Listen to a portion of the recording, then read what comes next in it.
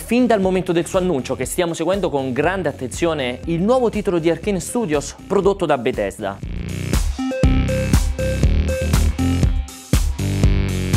Dishonored è infatti uno shooter in prima persona dalla grande componente stealth realizzato dai designer di Deus Ex, Thief, ma anche Dark Messiah of Might and Magic.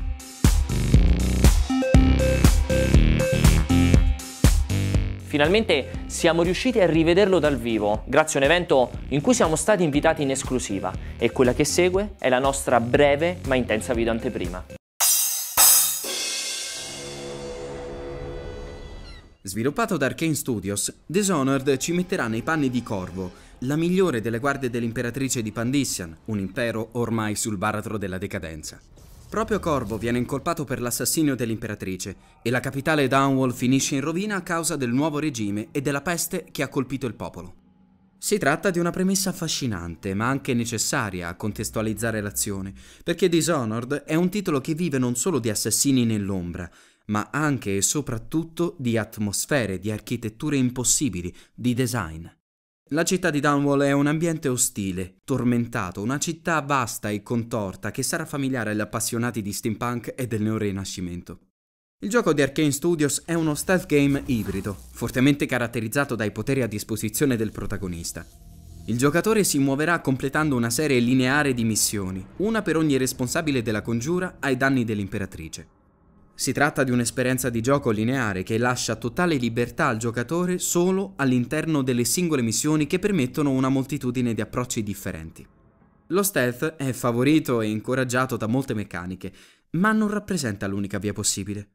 Nonostante la visuale in prima persona, l'esplorazione dei livelli si rivela estremamente dinamica. È sufficiente saltare verso un qualunque appiglio perché il protagonista vi si appenda e si arrampichi automaticamente. Ma uno degli elementi più importanti è rappresentato proprio dai poteri di corpo.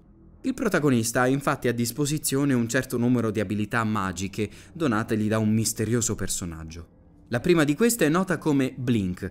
Dirigendo lo sguardo verso un punto d'arrivo è possibile teletrasportarsi istantaneamente, superando qualunque ostacolo nel mezzo. C'è una riserva d'energia per gestire questi poteri, simile al classico mana, che può essere recuperato utilizzando appositi elisir.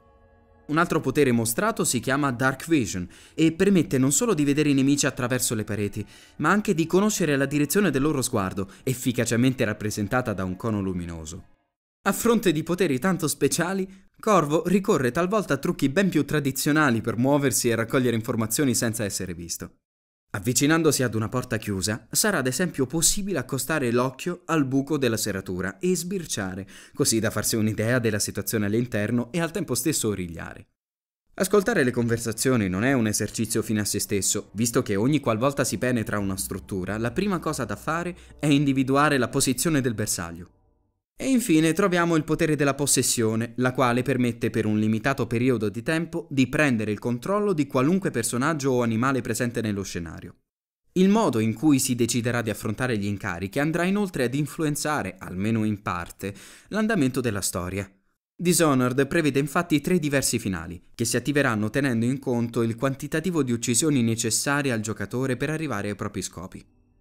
Non c'è ancora una data precisa per l'uscita del gioco, ma speriamo di tornare a rivederlo quanto prima.